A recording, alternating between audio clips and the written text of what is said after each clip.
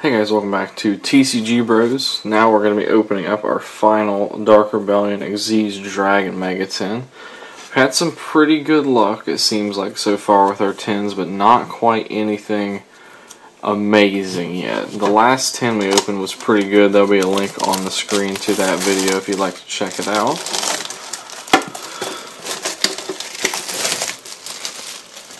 So this is the fourth tin that we've opened.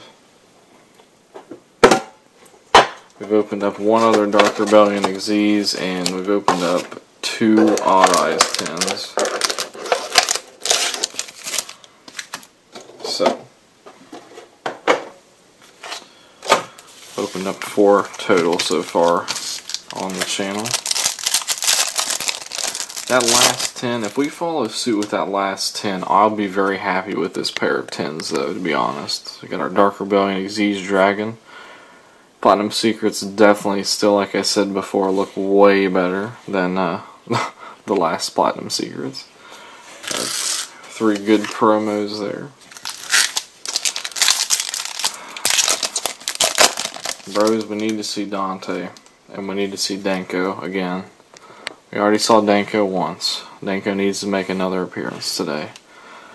Galactic Charity, Area, Fluffal Bear, Curse of the Shadow.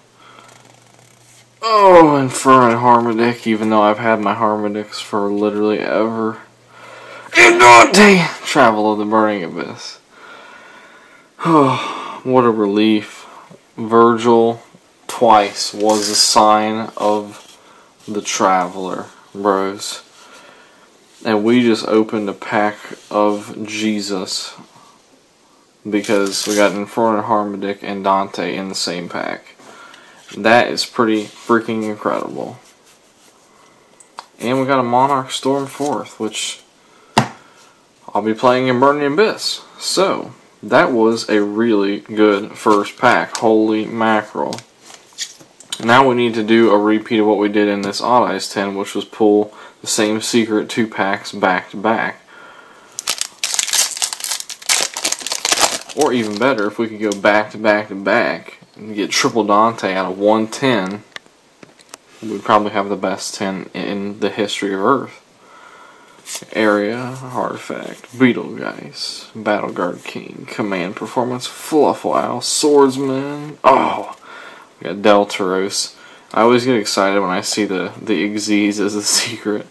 Anyway, Swordsman is a pretty good card. I've played that in Blue Eyes still. Stellar Knight I'll keep around. That's my third Void launch out of 410, so not too great on that behalf, but uh, it's all good. We pulled Dante. We're already in plus. I needed that Dante. That Infernoid Harmadik I didn't, but I bought all my Infernoid Harmadiks like shoot, like directly after its original pack came out. Got Disruption, Serenade, Bujin Intervention, Chain Dispel, Galaxy Tyranno, Bujingi Sinew, Nekroz of Gungnir, not very good, but that's okay. I thought I thought this card always looked pretty nice. Like the artwork of this card is just really beautiful in my opinion, so I may keep that around just because. I really like the artwork of that. And an Infernoid Antra, so that means I have five Infernoid Antras now a bunch of leftover ones in my uh, in my archetype binder, as I call it. But uh, in reality, let's be honest, bros, that was a pretty good 10 just due to that first pack there. Because Dante is by far the best pull.